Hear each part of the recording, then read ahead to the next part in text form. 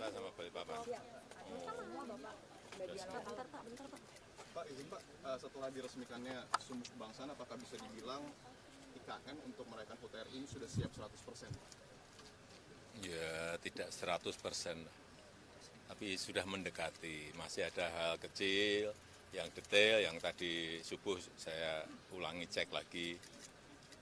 Sangat bagus. Tadi malam saya juga tidur di Istana Negara. Nyenyak. Pules. Beda sama sebelumnya apa Pak? AC-nya lebih kenceng atau? Apanya? Beda sama sebelumnya kan kalau sebelumnya belum dinyatu. Ya memang belum selesai. Ini pekerjaan besar yang sangat besar. Ini adalah pekerjaan panjang. Jadi Kak, Mbak Dita turun di eh, tahapan demi tahapan, step by step, satu-satu. Kalau belum ada AC-nya, salahnya tidur di situ. Sehingga nggak bisa tidur, nyenyak. Kalau tadi Pak tadi malam, ya nyenyak, pules, subuh bangun langsung muter. Udah muter ke mana-mana saya tadi. Nggak tahu dapat berapa puluh titik tadi. Udah coba jogging Dedi? Hmm. Dari pagi tadi. Udah belum bangun sih. Ya?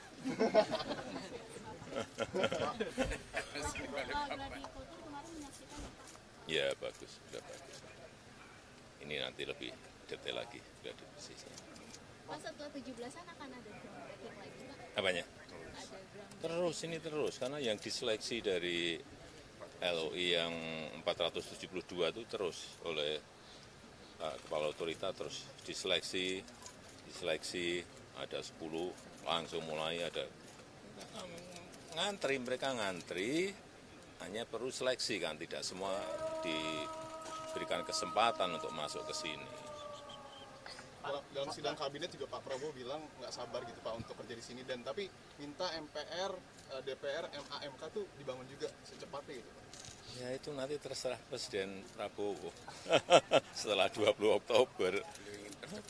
Ah, saya menyampaikan apa itu pembangunan ibu kota Nusantara ini mungkin bisa 10, 15 atau 20 tahun. Beliau menyampaikan, wah kalau saya kurang cepat itu 4, 5, 6 tahun. Ah, ya nanti terserah beliau.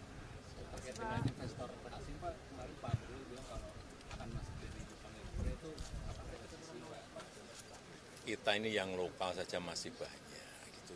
Mestinya diberikan prioritas yang domestik dulu.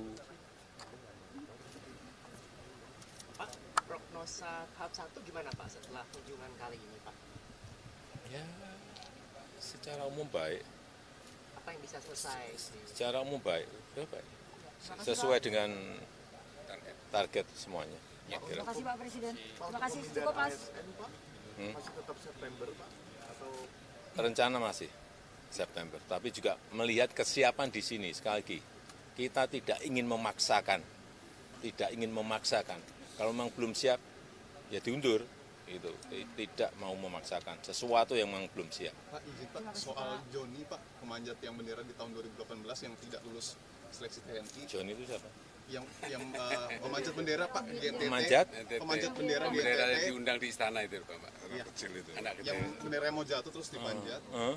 Bendera kok dipanjat maksudnya? Tiang bendera. yang benderanya kan mau jatuh Pak Jonia eh Gimana? Joni manjat Bapak mengundang ke istana dan menjanjikan Joni ini untuk masuk TNI Pak tapi dia seleksi nggak lolos Ya, karena kurang tinggi Ya semua ada aturannya lah. Serahkan ke Panglima. Terima kasih Udah. Pak. ya. Ini Panglima ada, Panglima ada. foto Pak foto Tanyakan tadi Joni ke Panglima. foto bareng Pak dari Jakarta jauh Pak di situ Pak